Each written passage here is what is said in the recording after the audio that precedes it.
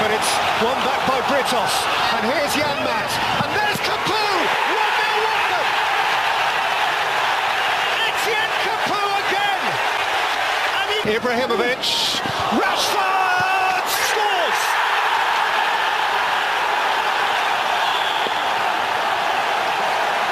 Running at Shaw. Feeding it in for Pereyra.